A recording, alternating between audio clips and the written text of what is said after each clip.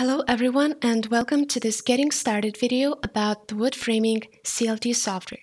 We want to make it as simple as possible for you to try out our CLT solution on your own. And in this video, I'll go through the basic steps to follow so that your use of the software is as hassle-free as possible.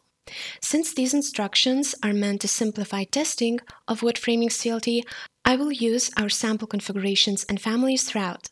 Just keep in mind that all these sample rules can be modified to your own needs and standards. In the wood framing CLT ribbon, there are six top-level functions. In the frame window, you'll find functionality needed for modeling frames with CLT panels. In the Elements window, you'll find functionality needed for creating connections common for CLT structures. In the Documents window, you'll find functionality needed for numbering elements and creating shop drawings.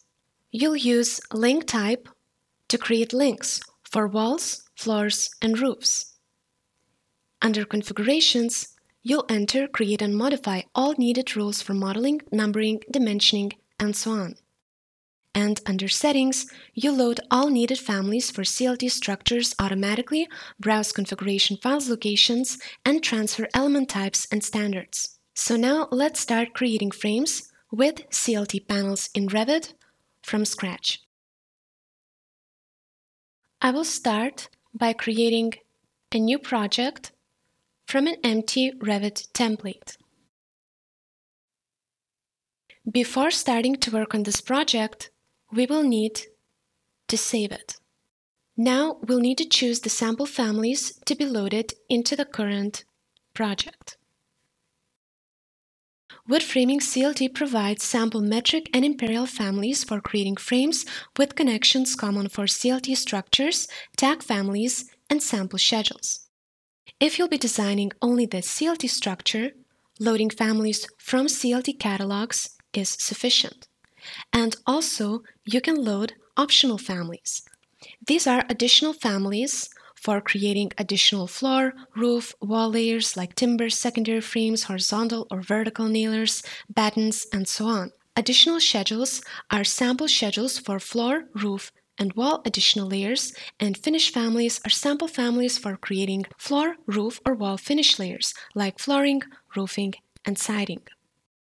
After loading, you'll find the families in the project browser, families under structural framing, structural connections, division profiles, annotation symbols, and generic model categories.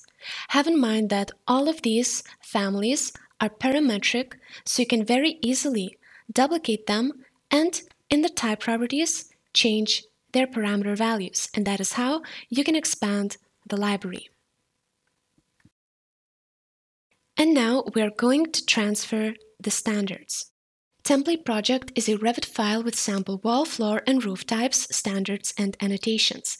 The template project feature allows users to transfer all needed information from a template project, eliminating the need to create wall, floor, and roof types and other needed elements or standards from scratch for every new project. So before working with the software, we recommend using these features. Template project location is the path to your template project. Wood Framing CLT comes with a sample template project which is mapped here automatically. When starting out, we recommend using the sample template project that comes with the software and is automatically mapped already. And later on, of course, you can create your own template project and map it right here. And now, since the template project is already mapped, we can transfer all wall, floor, roof types, standards, and annotations. So first, I'm going to transfer all the wall types from my template project, and I can transfer only the ones that have CLT in their name. I will do the same with the floors and with the roofs. And now we're going to transfer the standards. This functionality opens Revit's Transfer Project Standards dialog window. You then need to manually select various styles, types, and settings which need to be transferred from the template project file into the current project. For a smooth workflow, we recommend that you select at least six options. Text types, view reference types, View Templates, Viewport Types, Dimension Styles, and Filters. And you can select more options if needed. And finally, let's transfer annotations. It loads and overrides tags, callout heads, section heads, section view templates, and title blocks, and copies legend views and schedules from the project that is defined in the template project location to the current project. And now, assuming that you already have the necessary sample families loaded using load families, all types and standards transferred to the new current project, then you can move on to creating the architectural model to be automatically framed with CLT panels. The first step is to create the architectural model. We already transferred all the sample, wall, floor, and roof types to our project so we can use them. For this example, I used wall and floor types with boards and dovetails, and in this example, I used wall and floor types with half lap.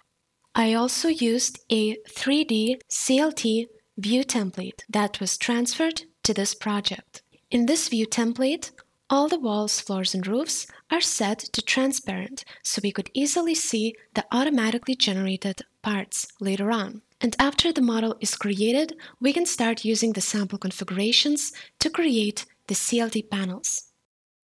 Let's start from creating a link. This example is with a wall, but the logic is the same for the floors and for the roofs. So first, I'm going to select a wall type, click on link type, and you can see that the window was opened with the wall type that I already selected.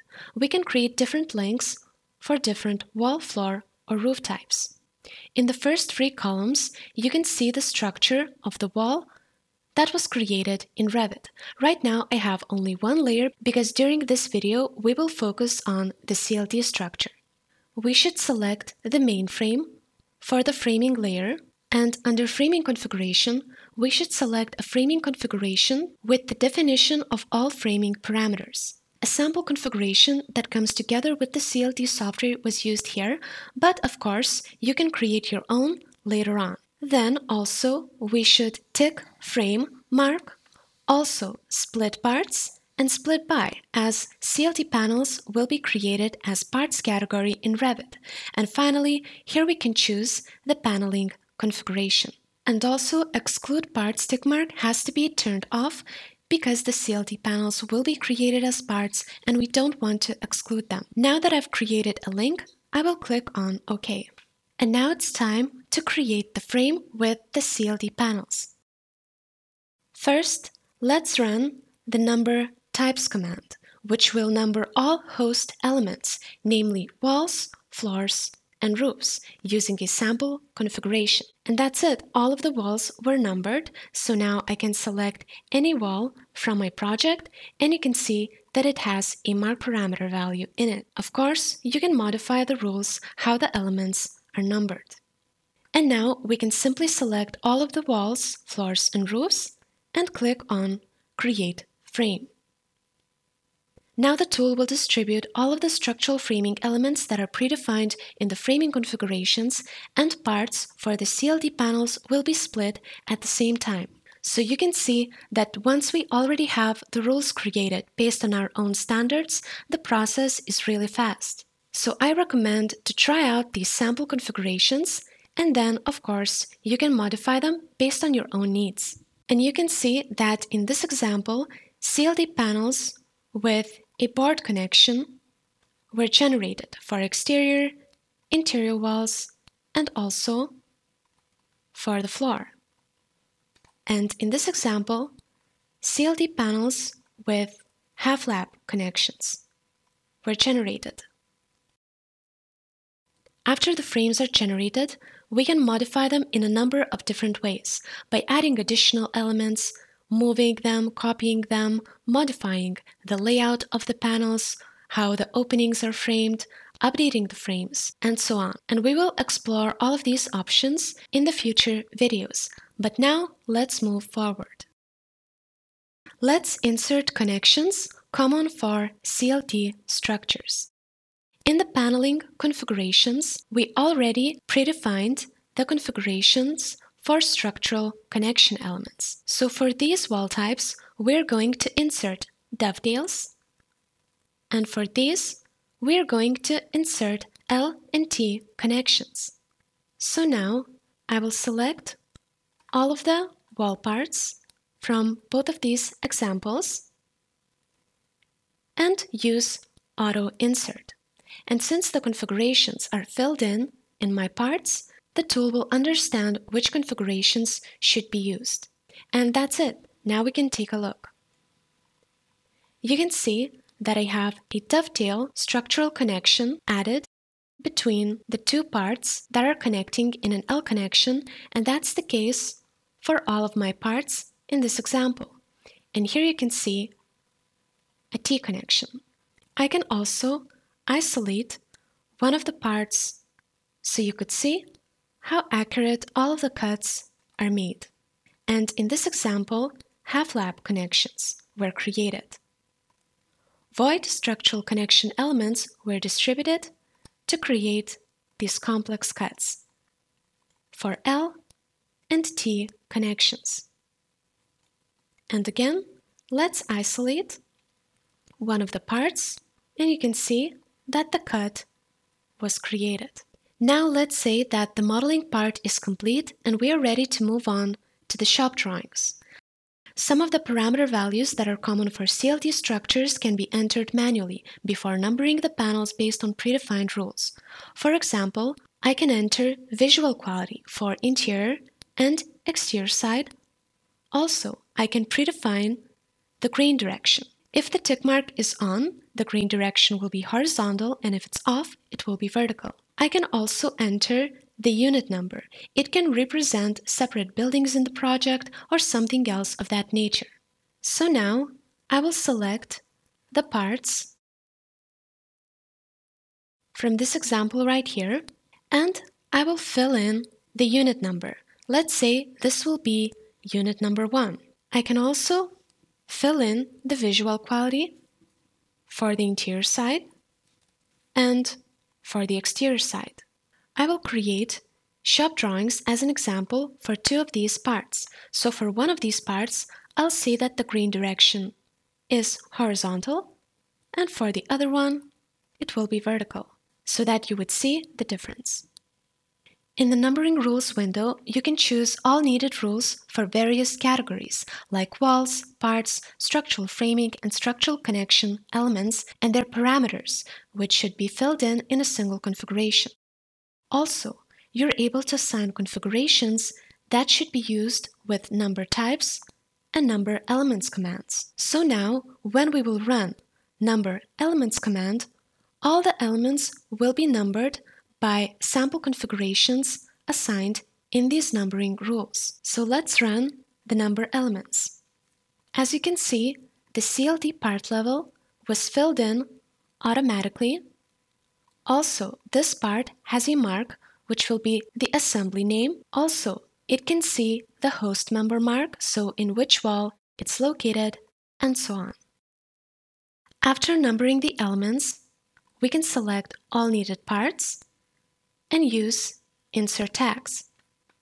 Now the tool will open a sample configuration for CLT panel tags, and when we'll click on Insert Details, the 3D tags will be added automatically. In these 3D tags, you can see the previously entered parameter values for visual interior and visual exterior qualities. These 3D tags are structural framing category elements that are only being used as tags. If you don't want to see these tags in the 3D view, you can hide them, but you should still insert them as we'll be using these 3D tags to tag panels when creating the shop drawings in the following step. If you do not insert them, then the panels will not have tags in the shop drawings. And of course, these are only sample configurations and can be adjusted to your needs later. And finally, you can select all numbered and tagged parts and use Create Assembly. First, I will create an assembly for a single part. And as this is a wall panel, I will use a sample CLT wall panel configuration. Now we can find the created assembly in the project browser under Assemblies, and all of these views and schedules were just generated automatically. You can see that the 3D view was created. Also, the elevation top view, where we can see the tag for the visual interior and exterior quality right here, and also the dimensions were added automatically based on the sample rules that can of course be modified. We also have a schedule where we can see the length, height, area count, and element mass of the panel. Of course, these schedules can be modified as well. We also have an elevation front view where we can see the tag displaying the horizontal grain direction. We can also see the mark of the part, the visual quality, and again, all of the dimensions are added automatically. We also have the section view, and now we can create our own sheet. I will create the first sheet in my project by manually dragging and dropping the views to the sheet, and then later I will use it as a template. Now I will open the assembly configuration, CLT wall panel configuration, and go to Sheets. You can see that we can predefine a sheet template. And now I've created this sheet manually and I will say that I want to use this template for my future panels. I will save this configuration. And now I will create another assembly for this panel. And now the tool will generate all of the views and schedules that were predefined in the configuration, and also it will create a sheet automatically based on the template sheet that we predefined. So now you can see that we have another assembly, and again, we have the 3D view, the elevation top view, the schedule, the elevation front view, and this time you can see that the tag is showing us the vertical grain direction, whereas previously we had a horizontal grain direction. We also have a section view, and this time the sheet is generated automatically based on the previously created template.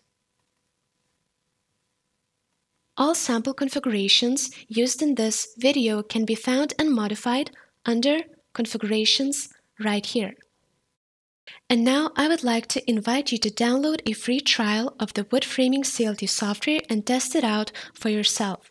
You will have access to all of the sample families, configurations, and standards that you just saw during this video. You will be able to repeat the process.